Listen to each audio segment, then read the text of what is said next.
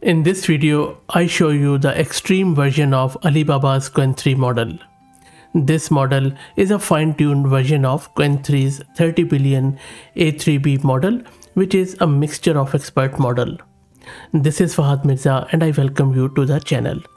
Before I install this extreme Qwen 3 model, let me give you a quick overview as how exactly this extreme version is different from the original Qwen 3 model. A mixture of expert model is a type of model that uses multiple expert models, each specializing in a specific task or domain. By routing input to the most relevant expert, mixture of expert model can efficiently process complex tasks and improve overall performance. And that is what this new fine tune of Qwen 3 is trying to do. It is taking the performance of this MOE model from Alibaba to next level.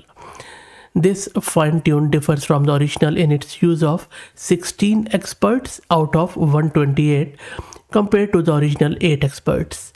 This change results in the model utilizing 6 billion parameters instead of 3 billion parameters out of a total 30 billion parameters.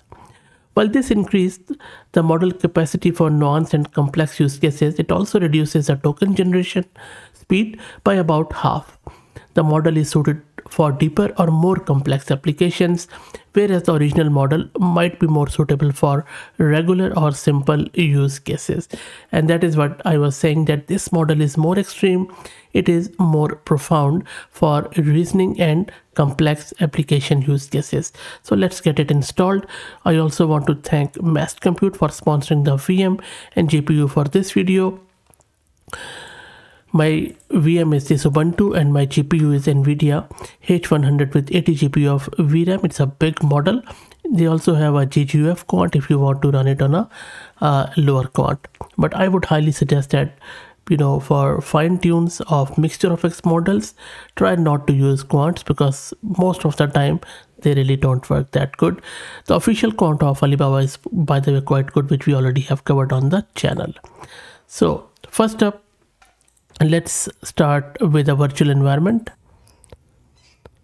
which you can see that I already have in terms of Conda but you can create any virtual environment of your choice. If you don't want to do that that is perfectly fine. Now the tool which I'm going to use in order to download and serve this model is VLLM which is a lightweight inference engine.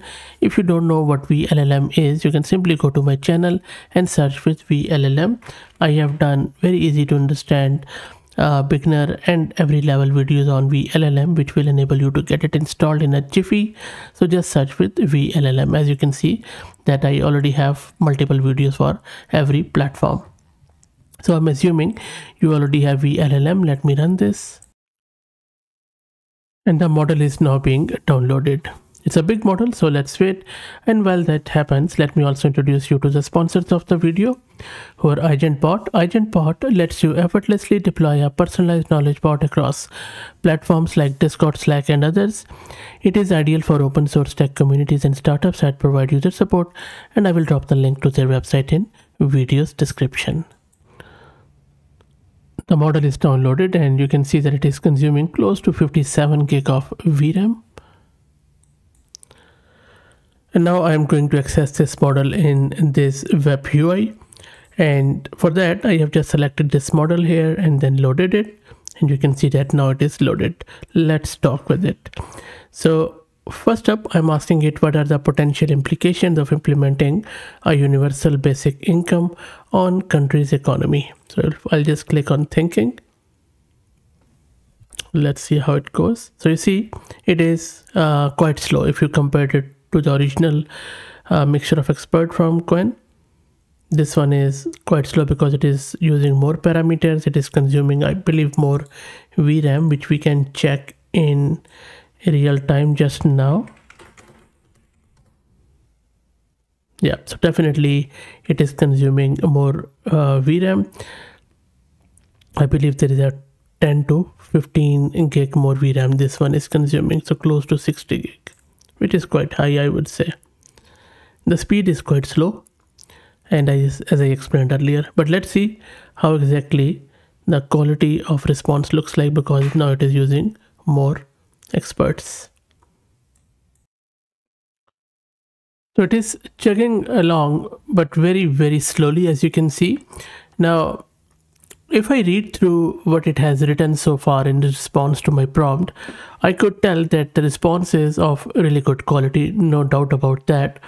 In the typical way of um, doing the chain of thought, this is where the similarity is with the original model that it starts by understanding what it needs to do and then it just starts tackling uh, step by step that first it is uh, looking at this implication and then it is going with different segments and all that stuff. Now there is definitely model seems more profound spending more time on thinking evaluating different stuff. And uh, i have also asked the same question with the other original one and it was quite good too i would say. But this one seems slightly more profound. Now, does that difference justify this slowness in speed? Because even my 180 GB VRAM GPU is not uh, fully filled, but still the number of token produced is quite low, as you can already tell. I'm not sure. I think that um, I would still prefer the original one for the real world use cases, but I think the whole research side of things around this model that the way um, the creator has increased the number of experts activated those parameters. Is quite interesting. And the good thing is that they have also shared that information in the model card. I have just stopped it because we can already tell that uh, the quality of model is quite good no doubt about that. Let me run this math question uh, or maybe I'll just stop this instead of just you know doing the kvk sort of thing here. I'm just going to go here and then maybe I'll just go with a new chat sometimes I prefer to reload this text generation web UI this always just refreshes the stuff so this is a new chat and then I'm just going to put it here and then this is a math question I'm asking that prove that the sum of interior angles of a triangle is always 180 degree. Provide a step-by-step -step derivation.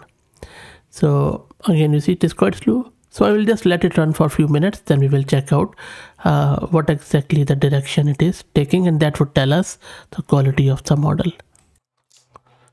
So it is again proceeding on a, you know, snail pace which I think going to take long time, but let's have a look at how exactly it is proceeding with the question. So you see, it is and again understanding it, and then it is talking about parallel lines, thinking, self-reflecting, and then visualizing. This one is quite good. So I think uh, there is a very marked difference, and you can actually sense it that the quality is slightly better than the previous one. So alternate ways are quite good and then it is using some of the properties well it's a very hard question. So you know even the original one took around 10 minutes to answer it was quite good. So i think if this is going to take a couple of hours to answer it. So i believe pretty good effort and i think uh, from the research perspective uh, pretty decent stuff. And the creator has also shared all the recipes and code on the hugging face model card which you can check and i will drop the link in video's description. Other than that i don't think so this is this makes sense to be used in a production environment uh, for the real world use cases. I think for the research uh, quite good not for the production use. That's it. Let me know what do you think. If you like the content please consider subscribing to the channel. If you're already subscribed please share it among your network as it helps. Thank you for watching